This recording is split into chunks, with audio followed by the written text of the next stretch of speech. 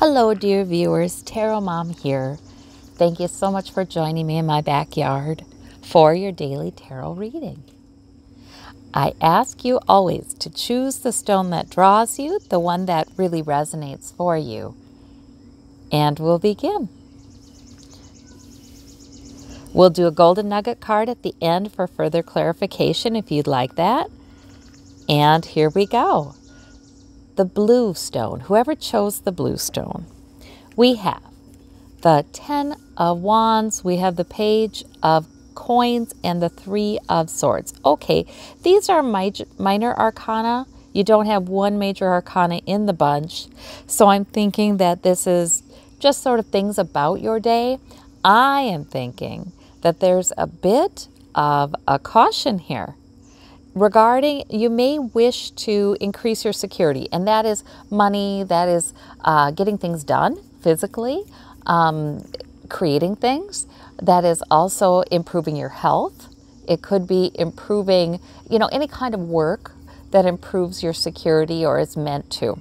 And maybe you've begun something and it's going well. You know you've picked it up. It's going well.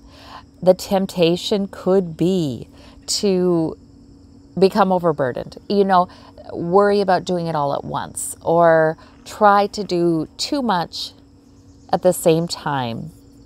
And that could bring, oh, this again. You know what I mean? The three of the three of swords or the temptation could be to worry if there's a lot of things that you have that are priorities to you goals to you maybe you are just somebody who can have a lot of things going at one time and you're strong and you tend to remain invested. You know, you care about a lot of things.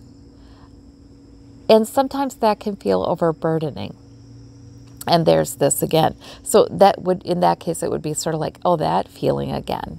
You know, it's important to pay attention to what we're thinking because that will affect how we're feeling. And maybe we need to try not to do everything at once, try not to be concerned with everything at once. Um, we need to do one thing at a time. you know, the other day I was looking ahead to a very busy day with this, this, this, and this. 10 wands, probably. And I thought, and the thought just came to me, oh, thank goodness, thank goodness. I only have to do one at a time. Right now, I just have to do this. That's all. And it just, it all fell away. I was able to say, yeah, I don't need to take my whole day in one gulp, you know? And then I found a little more wiggle room in my day for pleasant experiences as well. So that's that's how we do it. We just have one thing at a time. Or if there's anything that you worry about, you worry a lot about your world, you worry about others.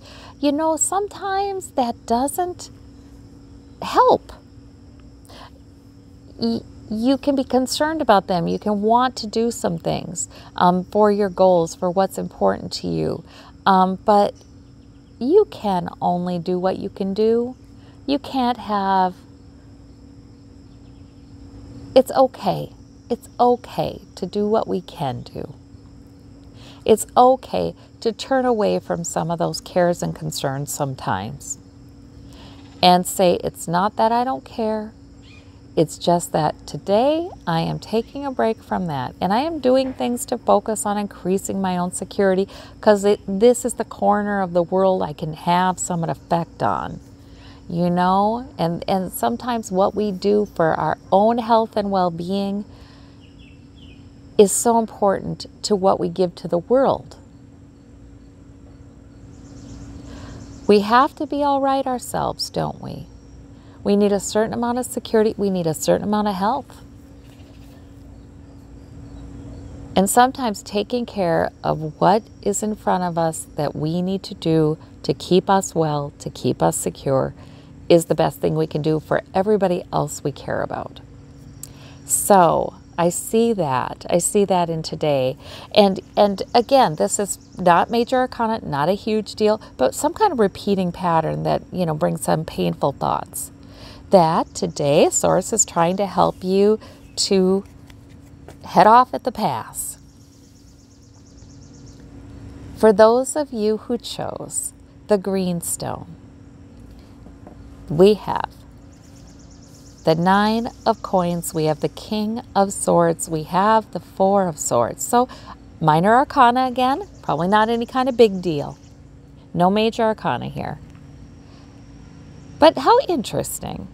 You may need to retreat from something. Now, the King of Swords is very logical, right? Very planful, very uh, good intellect. Not afraid to be assertive. Really kind of has a lot of self discipline, too. You know, like it doesn't matter how I feel about it, I'm following my plan. That, that, that kind of thing. You know, the King of Swords is pretty strong that way. King of Swords is not afraid to cut things out of his day that do not belong, that do not fit his plan. However, the King of Swords and the Queen of Swords are sometimes so strong logically and with their planning that they forget to pay attention to their emotional needs, their physical needs. Sometimes they over rely on their intellect the Four of Swords would suggest that you may need to think about taking a break from figuring things out today at some point. Taking a break from that, putting the swords on the wall. I'm not thinking about this, I'm not figuring. Sometimes taking a break from the plan can be part of the plan because we need rest and rejuvenation. Whether that's physical rest or whether that's mental rest or a simple retreat from a situation you've been thinking a lot about, this is indicated today. And the nine of coins is another kind of another kind of rest from that. It's sort of enjoying the physical pleasures of life. See, the king and queen of swords, very smart, mature, wise, but still maybe apt to live in their heads a little too much, rely on their intellect a little over much. And oh, what a relief it is sometimes to make it part of the plan to let the plan go and enjoy, you know, enjoy this physical realm. We're here, our souls chose to come here in this physical realm for a reason. Why not enjoy it? And if we're not able to enjoy it, then maybe we do need to retreat from the thinking a little bit to, a little bit more and take time to get in touch with the physical things. Sometimes getting outside or sometimes even in the environment you're in right now, paying attention to 10 things you can see, touch, taste, feel, as well as your emotions and glory in them and revel in them. Enjoy them thoroughly. If the thoughts want to come in to take over, let those go and bring back to what you're enjoying, what, what color you're enjoying, what texture you're enjoying, maybe what taste you're enjoying. So sometimes that helps us to become more fully grounded in the physical and enjoy it.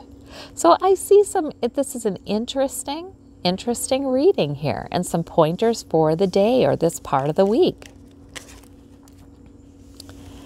For those of you who chose the purple amethyst, we have the Nine of Wands, we have the Empress, and the Ace of Wands. Okay, so the Empress, pregnant with a new possibility. The Nine of Wands suggests you've been through something. Um, and whether that was in your past and it still affects you, or, or you have reminders of it lately, or whether that's recent events, you've been through some things.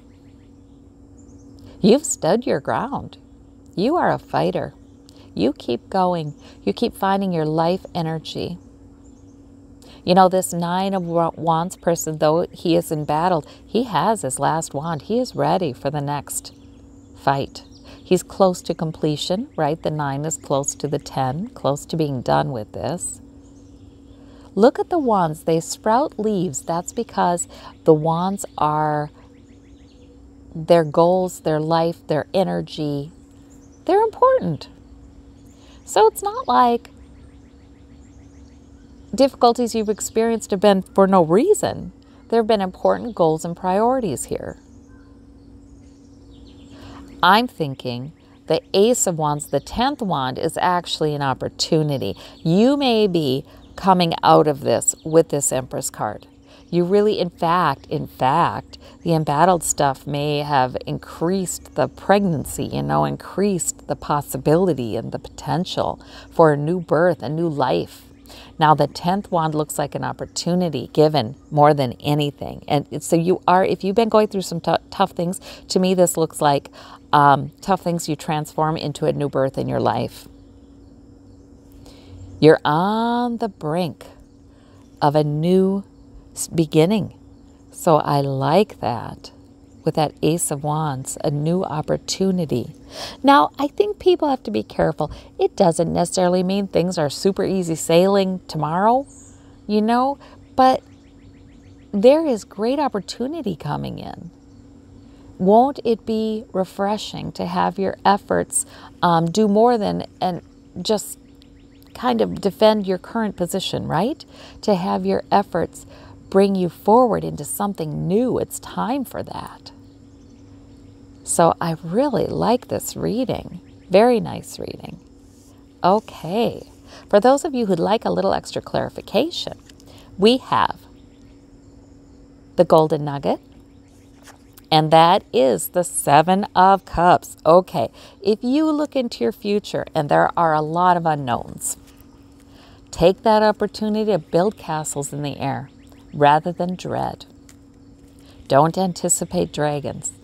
You know, we have a lot, we can do a lot to form what's coming in by, by what we expect. We do create our reality.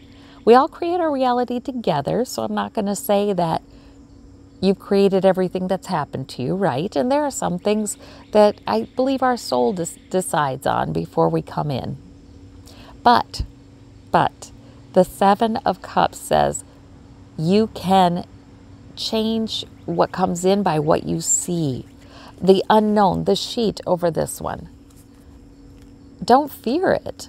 That unknown glows with possibilities.